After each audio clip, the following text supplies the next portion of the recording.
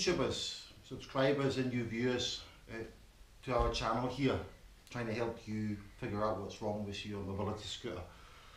Um, a lot of people nowadays buying small scooters like this, which are designed foldable boot scooters, easy to dismantle, battery comes out, they split in half. So they're quite light and small, petite to put into the boot of your car, so classed as boot scooters. And of course you can see here, there's lots of them. But there are some people that maybe can't afford to buy a larger scooter for driving round about the town. So for instance, £800, £1,000, it's quite a lot of money to some people, to me as well actually. Uh, and they buy, spend 800 £1,000 on a scooter and they don't use it as a boot scooter. They use it to go on a daily basis, down the streets, through potholes, through rain, through everything, uneven surfaces, and these scooters, because they're split in half, there's a lot of wear and tear on all the parts. So if you're thinking of getting yourself a scooter, you want to go in the village, in the town that you live, you don't want to put it in the boot of the car, buy a proper mid-size scooter that's not foldable. Because this one has given the customer a lot of headache. What's been happening with this scooter? It's constantly cutting out when it's going over a bump. Now, this scooter, I'm actually repairing this on behalf of another dealership that are very busy and couldn't repair it. So I'm helping them out on this. Now, I drove the scooter around a couple of days ago and it's with nothing but cutting out whatsoever. Um, what's actually happening, the voltage is going right down, the light on display is going away down as if the electric brake is binding on. But the electric brake ain't binding on because I've had it running on the rolling road like I've showed in different videos and the brake's not overheating whatsoever. So, uh, the other dealership has put new batteries in because they thought the lights were going down, that the, the battery was, was getting weak, so they put new batteries in. Uh, they put new speed pot on it, a throttle pod on it, and it's still breaking down. So what is the cause of the problem? Customer says it always breaks down going on uneven surfaces. Now there's lots of contact points from, from the battery to the base unit here, which is underneath the battery, which I'll show you. And it's contact points from the front of the scooter to the back of the scooter. So these contact points needs to, need to be inspected. Uh, I've driven it about um, just before I started this video and it would it break down, would it hell? It's one of these one of these ones, but still the power indicator on the LED was going away down. And it's funny because it, it was going away down and forward, but it wasn't doing it in reverse. So because there's lots of movement in this scooter, there must be something wrong with the connectors. Now, I've had a wee look at it. I actually know what the problem is because I have spent some time on this this scooter, and it, it took a wee bit to find. But if you check all the connections on any product, you something cutting out, you will eventually find it. Sometimes when you lift this battery out, you need to check these contacts point here. The contacts, check the colour. Are they black? Do they look uh, as if they've been burned? Is the plastic round about it melted? And of course, undo all these screws round a bit here, get inside the batteries, check that the terminals and the batteries are properly connected up. Now the other dealership uh, has has put new batteries in, so when I'm switching it on, there's the power lights coming on, so I don't think there's an issue there, but I always like checking things myself, so I'm going to open it up um, and check it. So that's your, your battery. Now of course, if you have to replace any contacts, it's always important to, place, to replace both sides, positive and negative. So if you're replacing these pins, if you see the, where are we? These pins, if you see the torched, black, burnt, the connection melted, replace this as well as this side here. We can supply these for most products that are on the market. If you don't see it on our website, just give us a bell, uh, an email, or put a wee list below uh, in the comment section and we'll help you with that. Now, I can take the seat off.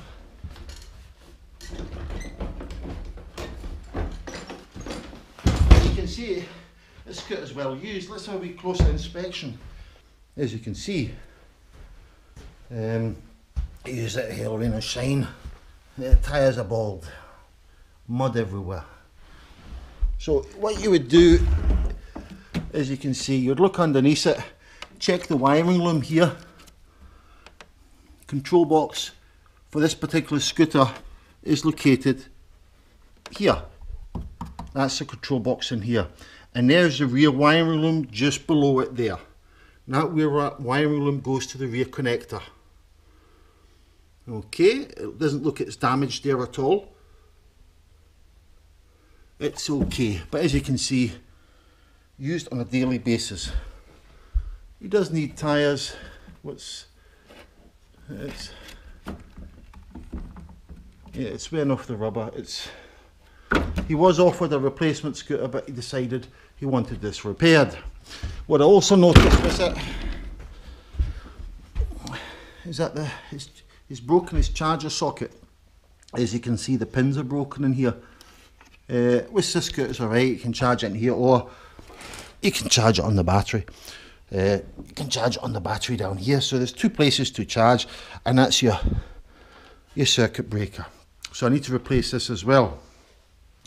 Now we've checked all these connectors on here. They look okay. They don't look burnt to me. They are worn a wee bit, but that's okay. So the next port of call is the connectors in behind here. And what I'll do is I'll put the camera down and let's have a look inside. Right, so what I'm going to do, I'm going to dismantle the front from the back and, and check all connections that go from the front to the back. Okay, so on this particular scooter, you've got these pins here. And let me show, put it around here and you've got these pins here. Right, let's get a bit close up.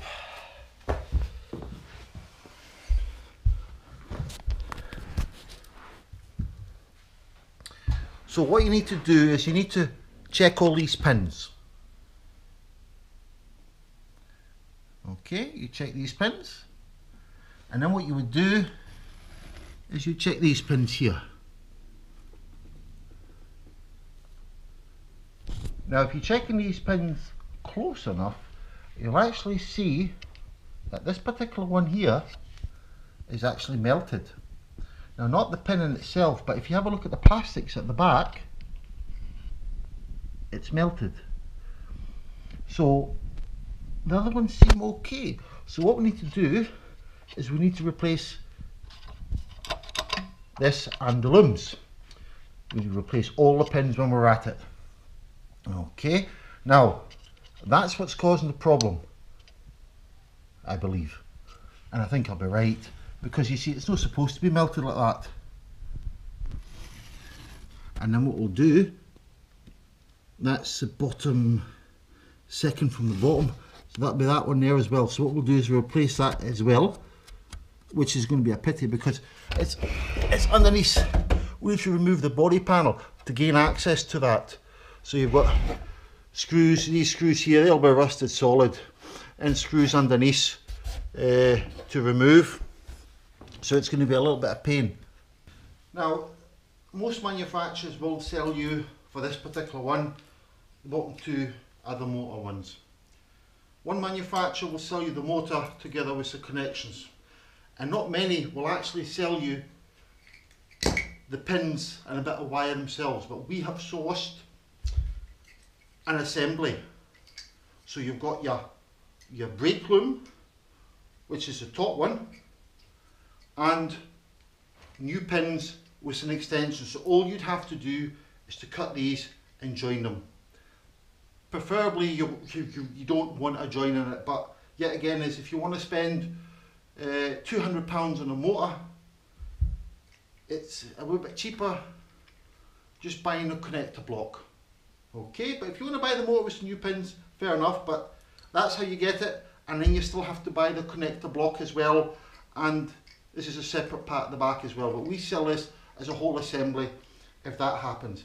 With all due respect, some manufacturers will sell you the brake loom by itself because it splits from here there, but the motor doesn't.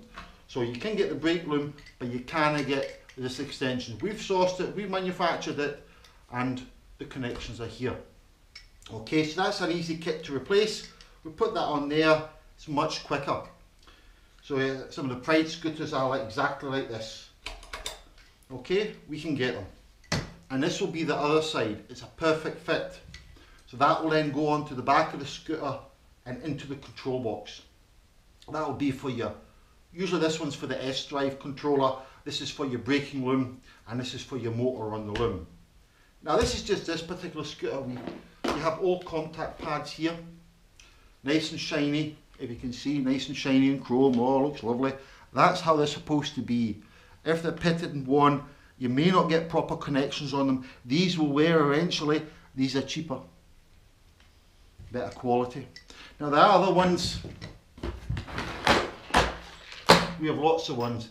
These are the very old ones, the go-go ones, they're still used. And then you've got the, the copper ones, great conductor. Uh, Little Gem use these. The older ones, Little Gem use something like this, but rounder. So we've got lots of different makes. This is actually for a electric mobility taxi. Um, that's for your battery pads. So you need to check them to make sure they're clean. Do not use emery paper cleaning them. Just use cleaning fluids. So that's your your pads for your battery. And then some of the older ones, the motor connectors. These are on springs so they move around. Um, that's your pad.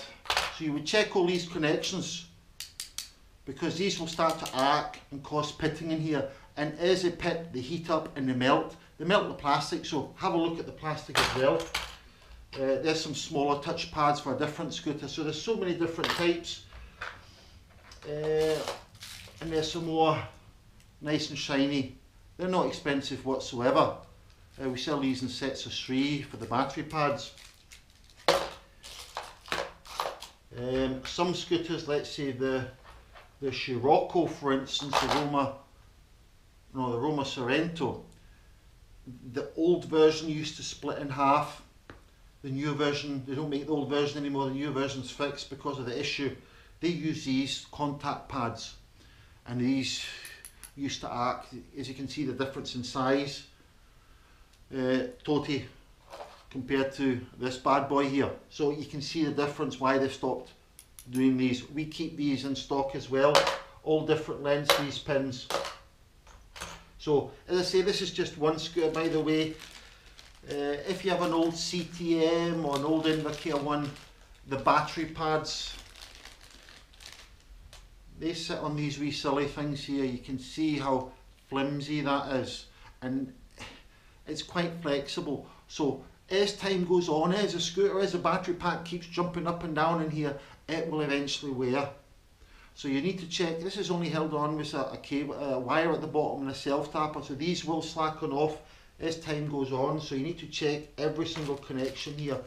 We keep them in stock, so if you need them, just give us a bell. Some of the pads have springs on them. So you've got that spring here, and, it's, I think uh, these ones don't have springs on it, they're just a perfect fit into the loom. There's no springs on these, but it's a perfect fit and it's tight. So this would have been worn through time, that's why it's heated that connection up and it's melted it. These ones are actually not bad, the only, the only disadvantage was these are a little bit cheaper, therefore they tend to rust quite a bit and start to pit. So just by giving it a clean that will help, but if it constantly starts to break down, get a new set of pads. We sell them, just the wee bits here or we'll send you the whole loom. It's up to yourself. So, this needs to be changed and I'm really looking forward to doing this. Um, let's put that away. So I'm not going to put the, the new motor on it because the customer doesn't want to go to the expense of spending a couple of hundred quid on this. Eh? It's rather to, a cheaper option. You can buy these on our website. If you can't find them, just send a comment below and I'll send you a link. Um, but all these connections are actually on our, there'll be a link together with a whole page full of connections for, for mobility scooters, especially the ones that split in half. So check every connection, I'm saying it again and again because I tell people to check the connections, they don't check them properly, close enough, the plastic's very important. Um, These ones here are hardwired to the connector. You can see that here. Some of them actually got a nut and bolt on there. So you need to check to make sure the connection is clean as well and the nut is tight. These ones rotate. So the connections are good on these. They're really good connectors. But as I say, he's using uneven surfaces. The metal starts to wear, things start to move more.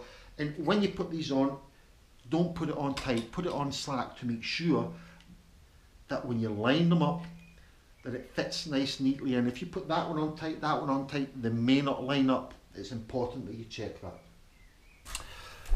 Uh, hello YouTube, I'm I'm back again. This is day two on this on this scooter, and I made a wee a wee boo boo. Uh, I pressed the record button on the camera, then I replaced this, and then I noticed I didn't press the record button. Mistakes can be made very easily, so I'll quickly go through and show you exactly what I've done. Okay, what I've done is I've actually removed the old one, as I say. Now there's two sides to this. If you have a look, the bottom two are the motor ones, and that's where this one's melted in here. Okay, just in that one there. So when you replace them, that's got a wee dowel in there, that goes on a spring on there. So you can see it's also melted in there. So how I done that one was remove these. Now these screws are supposed to be slack. Now that is a, it's a 7 mil I think. 7 millimeters. If you don't have a 7 mil, then what you can do is you can use a pair of pliers. I think that's that one off. Okay, and now you take the bottom one off. Now there is a a spring in the top and you don't want to lose that spring. Otherwise you'll be on the phone to me asking me for a spring. Right so you pull that off. Springs in the top there. And that should then come out. Okay so that's your spring. So that then technically speaking when you put it back on that has to go in there. So remove the the electric brake, put the brake back on, that's when I put the new one on. Uh, cut the wires, as you can see here, and joined them up with the clamp that's supplied. So when you put it back together, always put the spring in first, because if you screw this on, you cannot put the spring in it.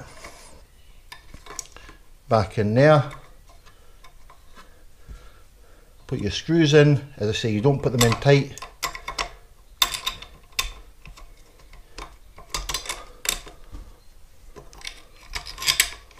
Because it will need to move about. So they say the best thing is to have a wee magnetic tray, tray to put the, the nylock nuts in.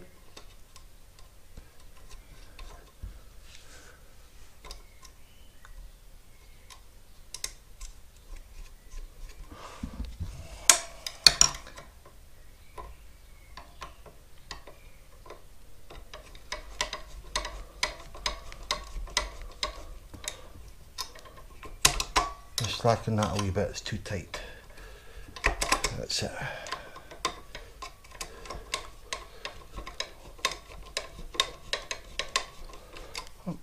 So it's moving about in there. So that's the back done. So I put the connector back on and put some insulating tape on that. Uh, you can put uh, amalgamating tape on it uh, or heat shrink as you can see that's where it's all worn. so that's the back bit down. Now I need to do the front bit. Now I've actually not done the front bit so that'll be a, a contract.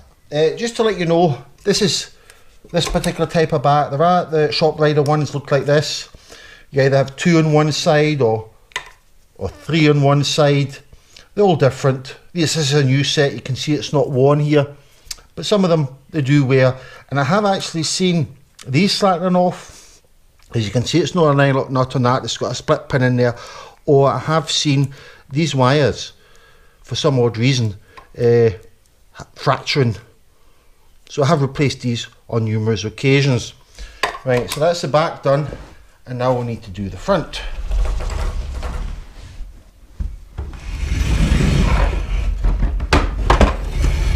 Now to do the front, you have to remove this. Now we can supply in two formats a format number uno, like this, with the plastic moulding on it, or a little bit cheaper, exactly the same, without the plastic moulding. All you have to do is just put, push this, undo the screws at the back there, push these in. Now, highly recommended if you get it in this format, uh, take pictures. When you take this off, take pictures because you don't want to put them in upside down. So, the motor's at the bottom and the electric brakes at the top. If you put these in, you need to put them in the colours, take pictures. The top two, doesn't matter which way around you put them because they're for the electric brake. But the bottom is very important, otherwise the motor will go the opposite way.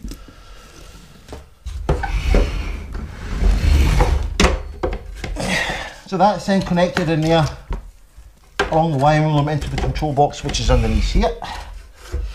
Let me see if I can lift that up.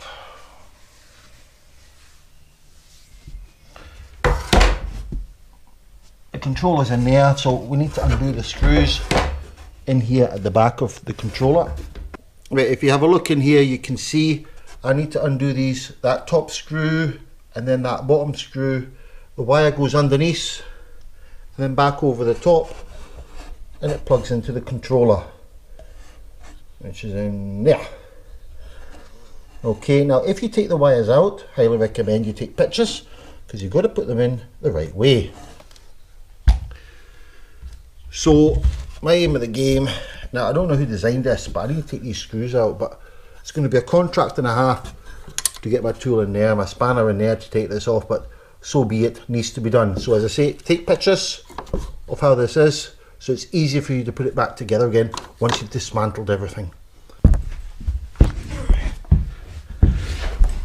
Now, so I've removed the wires here from the controller. I've taken pictures so I know what to do, and I'm going to undo these screws here. Now when you put this back together again, I like putting it on not too tight because this actually moves about a wee bit as you can see and that then has to line up with the other side. So what you do is you put them on tight but tight enough so that you can actually move it so that when you join the back to the front you can actually join it in nice and gently take it out and then tighten it and then try it again if you put it on and tighten it straight away, what's going to happen is when you put it on, it may be misaligned. As you can see this movement here, that makes a difference. Let me slacken the bottom and show you. There is quite a lot of movement in here. So there's a lot of movement and if that's not aligned properly, it's you either when you close it you're going to jam or break it. And when you break it, you spent all this money for nothing. So very important, put it on, put it on tight enough That's one. And I say, take pictures so you know what you're doing. Always remember, red's at the bottom.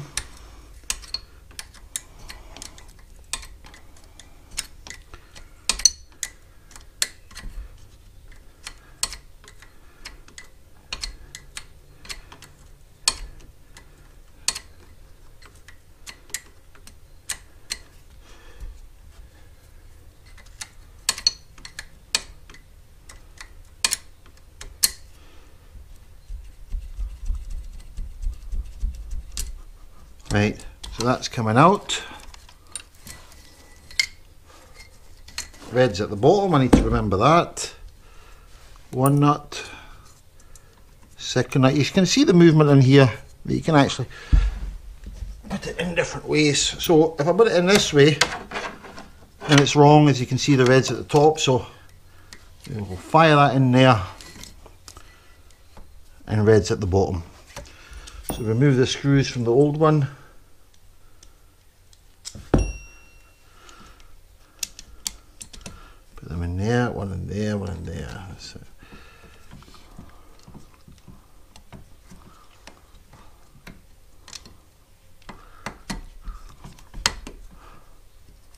as you can see all this big movement here, so I'm going to put it more or less in the same place, but I still need to put it on properly.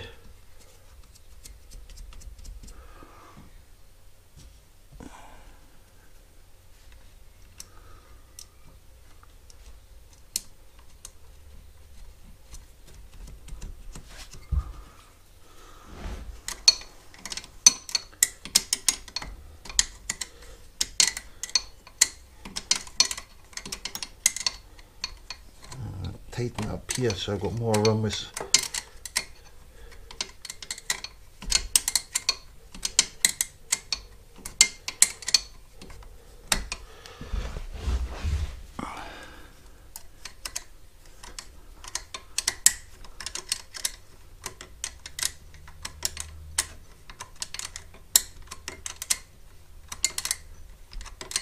I think they could have done this a little bit easier. Just putting a a wee bit tighter yet, I think.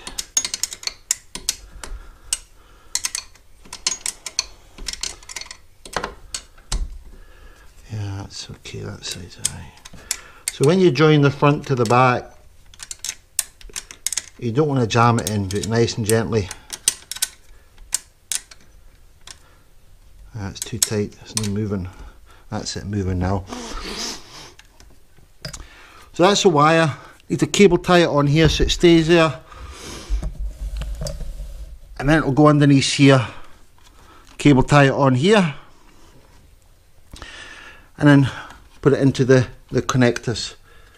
So hopefully that should be fine. Once I've plugged that in there, I'll show you how to join the back, the backs together. So now I've fitted this connection on here, and it's moving about a wee bit, so, and it is still tight to move. So when I put it on, I'm not going to force it on, I'm going to put it on gently, because we want to line it up to get the perfect fit.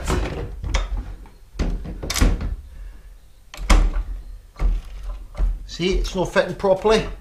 I'm not going to force it, I'm just going to move it gently. I'm going to have a wee look in here to see how far over I need to bring it.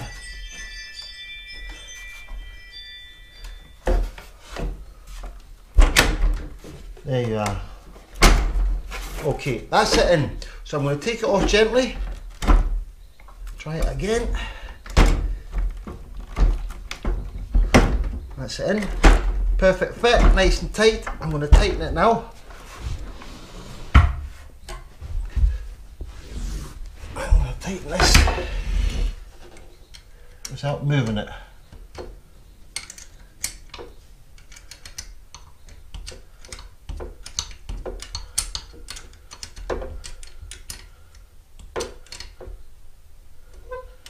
Right, that's the top one. I'm going to try it again before I do the bottom. Perfect fit. Okay, Let's tighten the bottom one.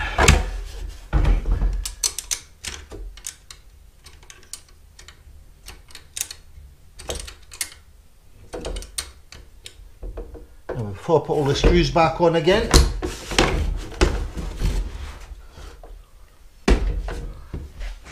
going to try it once more.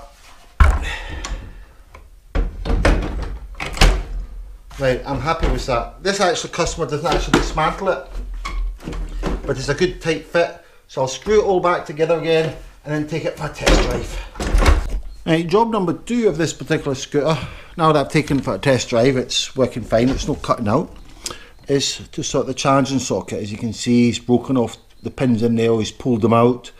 So it's no charging, so he usually charges it now through the, the battery box. Uh, but he wants this sorted as well, so we need to remove that and uh, put new one on here. If you need any of these, just let us know. Uh, we supply these as well, so you can pre-wire them if you want, or if you want them in one piece, just let us know.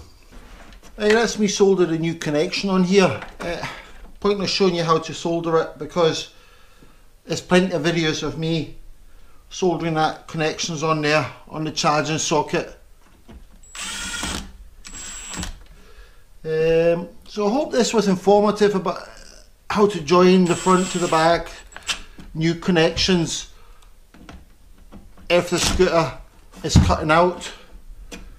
Um, if you'd like to like and subscribe, if you have any questions from different types of scooters, feel free to ask us. I'm here to help you.